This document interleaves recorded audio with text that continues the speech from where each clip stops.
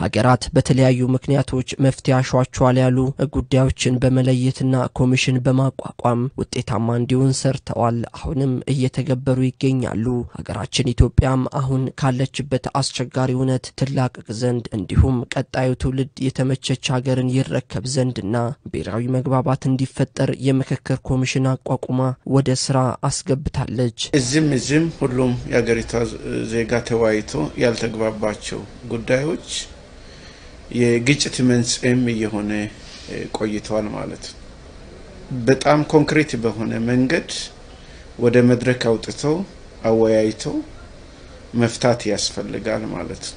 በሁሉም አቅጣጫ ሰዎች የሚያነሷቸው በጣም የተበተኑ በርካታ ፍላጎቶችና ሀሳቦች አሉ።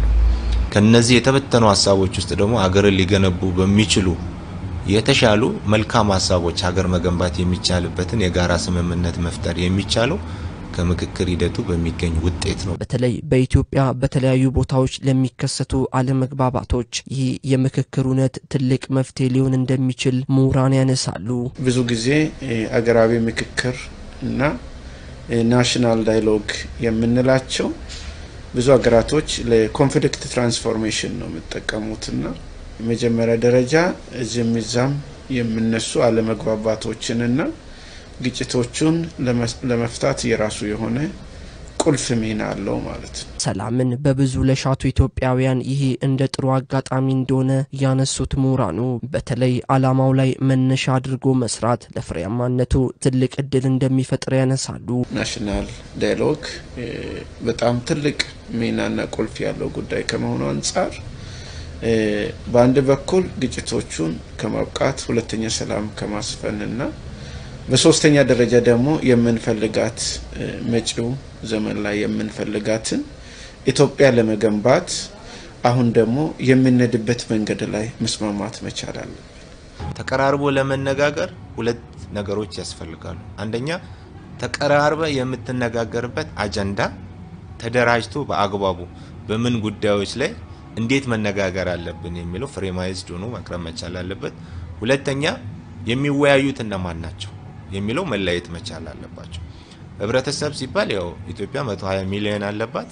120 ሚሊዮን ህዝብ በአንድ አጀንዳ ላይ መግባባት አይጠበቅበትም።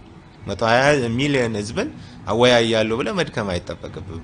ግን ህዝብን ሊወክሉ የሚችሉ አካላትን መርጠ የሚወያዩበትን በተነሳው አጀንዳ ላይ የሚፈጠሩ ልዩነቶችን ደግሞ መፍታት የሚቻልበትንም እድል መፍጠር የሚችልበትን እድሎች ከፈጠርክ ውይይት መድረኩ በእርግጠኝነት ፍሬ ያፈራል ብዬ አምናል። መሰረታዊ በሆኑ ነገሮች ላይ ተመሳሳይ የሆኑ ጉዳዮች ሊኖሩ ይገባል ያሉት ምሁራኑ ምክክሩ ከስኬት እንዲደርስ አሳታፊነትን ማስፋት ይገባል ብለዋል። አሳታፊነት ማለት ሁሉም ሀሳብ አለኝ የሚል ልዩነት አለኝ የሚል የራሱን ሀሳብ ይዞ እንዲቀርብ መፍቀድ። ስለዚህ ቀጣይ ለምናደርገውም ደግሞ እኔ አልተሳተፍኩም የሚል እንዳይኖር ሁሉም ብሔረሰብ ብሔር ብሔረሰቦች እንዲሳተፉ ጥሩ ፕላትፎርም መፍጠር ያስፈልጋል።